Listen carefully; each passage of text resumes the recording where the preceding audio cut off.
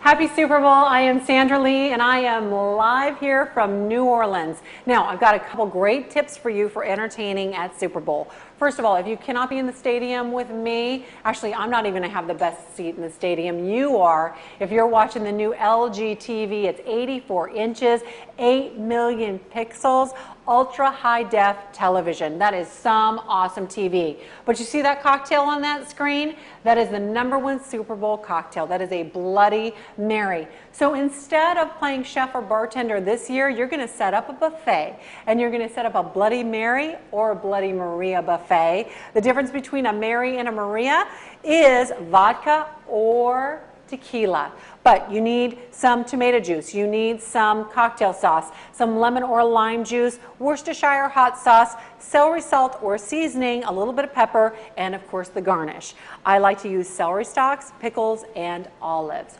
awesome. Now the perfect pairing with that is going to be hoagie sandwiches.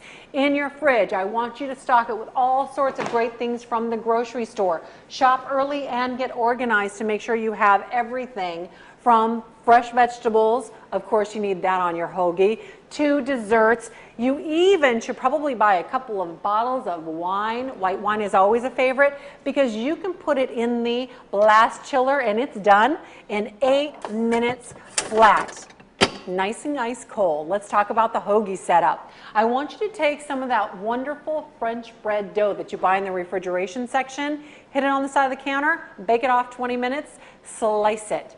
Then give your guests the option. Maybe you want prosciutto. How about a little bit of hard salami or pepperoni? And then you need some Monterey Jack cheese and some provolone cheese. And instead of the normal lettuce, tomato, and onion, how about some roasted red peppers, maybe some basil leaf, avocado, butter lettuce would be amazing. Lots of mayonnaise and lots of mustard. And of course, you always want to enjoy responsibly. So have something for the designated driver and the kiddies. Think kitty cocktails, think soda pops. By the way, soda pops in the fridge, five minutes in that blast chiller. It is awesome when you celebrate with LG because life's good.